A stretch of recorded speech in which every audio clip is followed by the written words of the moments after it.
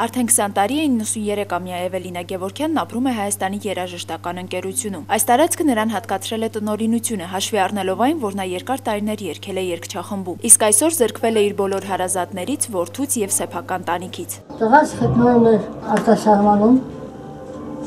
Ես իրան ուղարկեցի արտասահման։ Ինքը գնաց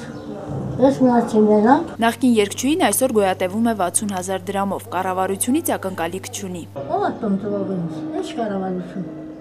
Հիմա կառավարություն կա։ Թերթելով կյանքի էջերը երգչուհին հիշում է, որ նրա նկատմամբ մեղմ ասած բարյացակամ չէր նաև խորթային միությունը։ 1942 թվականին նա սովորում էր Ռոմանոս Մելիքյանի անվան երաժշտական ուսումնարանի երկրորդ կուրսում, սակայն ավարտել չհասցրեց։ Իշխանությունները ողջել են, որ նա Գերմանիայում բարեկամներ ունի, ովքեր գաղափարակից են Ադոլֆ Հիտլերին։ Սովետական իշխանությունը ինձ նստացրել է 4 տարի սովետական կոնսուլագեր Միջին Ասիա։ Նրան հաջողվել է ողջ մնալ ազատազրկման վայրում եւ վերադառնալ հայրենիք, որտեղ նրան չէին սպասում։ Ավազեցի, ռոմանոսի, ուսուցիչան, չտեսնված տվյալներով, հոյակապ ձայն, բայց տեղ չունեի, որտեղ բռնան, որտեղ նստած եմ եղել քաղաքական, սա։ Բոլոր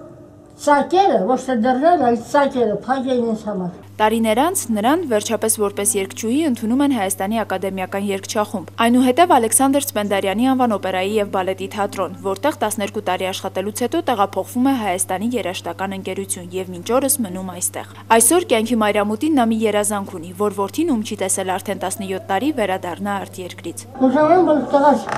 մեջտեղ գա եւ ես թողնում գնամ։ Լիլիթ Արաքելյան, IPF